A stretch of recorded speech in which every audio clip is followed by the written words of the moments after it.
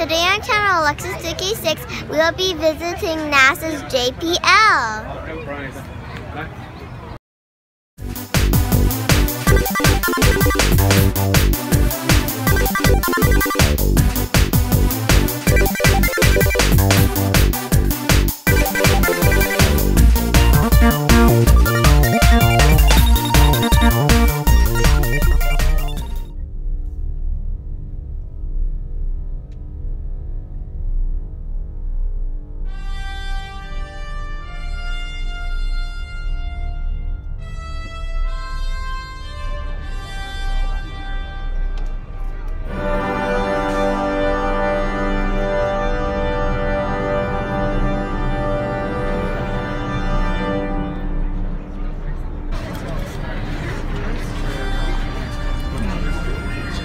Over 20,000 people every year come to JPL's open house.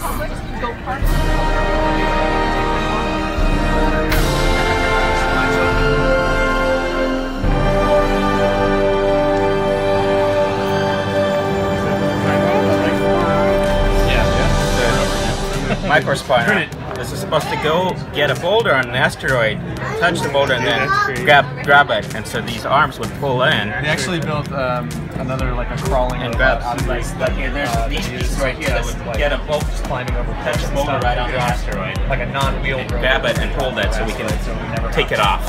Right off.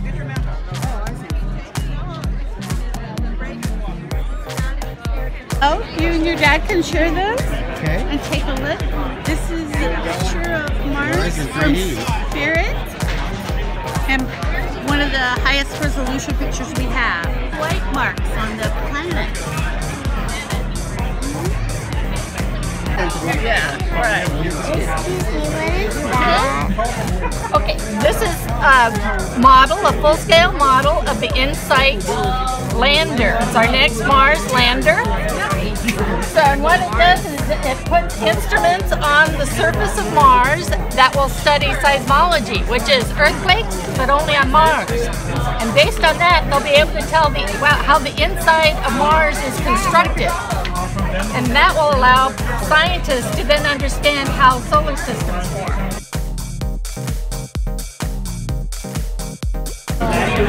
This is the size of the Earth compared to Jupiter. How far away do you think you should put it if it was a real good scale model? Three miles. If this were really Jupiter and we made a proper scale model with the Earth, we'd have to put it three miles away.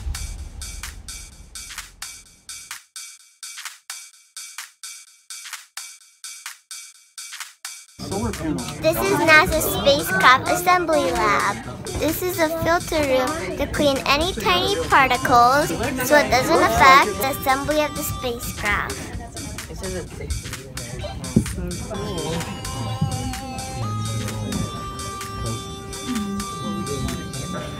Okay, just coming a little closer down here. Uh, you can make sure you can see the vehicles. This is our high bay number two. We have another high bay number one on the other side. This is a clean room which we build our spacecraft. We built the Cassini spacecraft currently orbiting Saturn in here. We built the Galileo spacecraft in here which went to Jupiter. We are building in here, when you see in front of you, the LDSD test vehicle number three. We just saw a bunch of stuff on the line coming in about LDSD. This is our third test vehicle. We already flew number one and two 2014 and 2015. This vehicle will be used to test our parachute and supersonic inflatable aerodynamic accelerator. That big inner tube that you saw inflated outside. We have another one of those inner tubes tacked up against the side of the vehicle underneath that white cover. We're going inside the Spacecraft Fabrication Lab. This is a place where they build spaceships.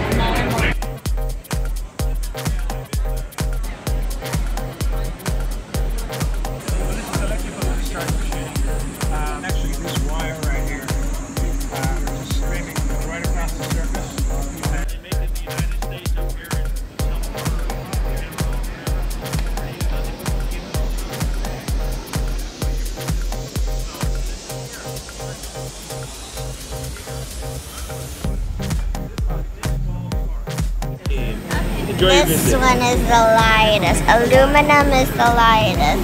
And then it's titanium. Then it's Invar. It's. So, One hour. what are these pieces used for? But these are usually used like these are structural parts. So if you're building something and then there's another part mounted out here, maybe not this one, but let's just say the two parts come together like this. You, the way we build something is we use lots of small parts and put them all together as an assembly. Sometimes they'll hold on to solar panels, sometimes they'll hold on to batteries. It all depends on where the part goes. And how do you connect them together? Usually with fasteners, like screws and inserts and bolts, you know, like you see on cars. That's what these are, these threaded holes. Those are for screws right there. Outside of the spacecraft. It is used to protect astronauts. What's it made of? Uh, that's made of nickel, and it's nickel on top of polymer. So it's nickel over plastic. Very rough. But then this one is kind of less rough. Yep. It's because this one has metal on it, and uh, this one doesn't. Yes, ma'am. What is that? That is our welding clamping fixture. This is our welding head. This is how the actual head works. See a little electrode? That that revolves around the actual tube. So as the tube is right inside here, it revolves right around the actual tube. If I reach in here, can grab another tube. See, this is another tube.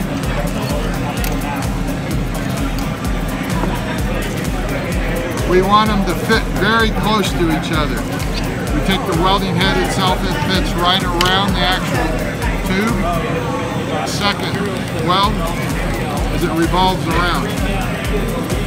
And there we are welded around the actual, weld the tube together. It's up to about 3,000 degree and that's 60 thousandths wide beam. 20 seconds to cool to the touch.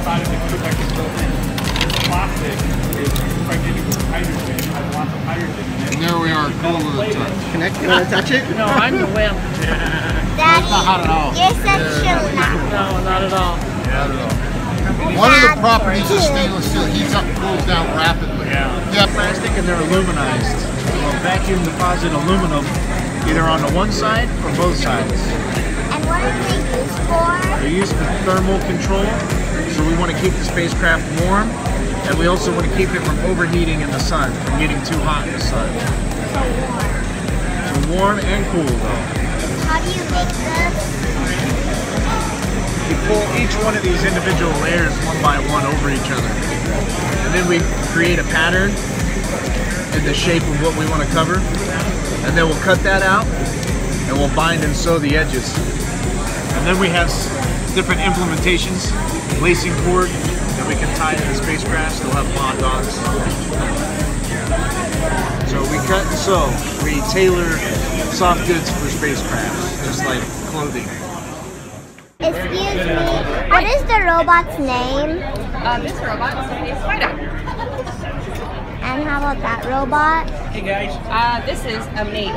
So this robot is used in the Arctic, basically, you know, the extreme environment. It's dry and it's cold to, you know, simulate what it might be like to drill and work on Mars. Why are they landing so many ships on Mars? Mars is important to study because it's very similar to Earth and it's close to Earth, so we can get there. And we're look things we want to learn about Mars are, you know, what it's made of at the surface, what kind of stuff is happening below the surface, what kind of geological activity to sort of learn about how the planet was formed, its past history, and then we can learn was there life on Mars in the past? Is there any life on Mars now? And you know, how does life outside of Earth exist and what's it composed of? You never know. Maybe in your lifetime, it could happen. Of course, you don't. Behind me is a full-scale model of the Mars Curiosity.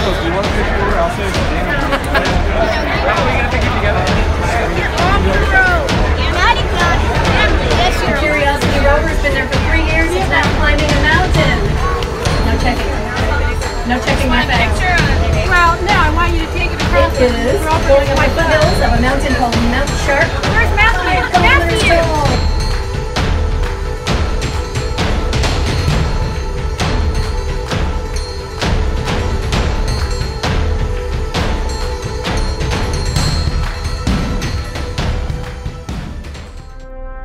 in our galaxy. So that means if every one of them has a planet, do the math, it's at least no less than a couple hundred billion planets.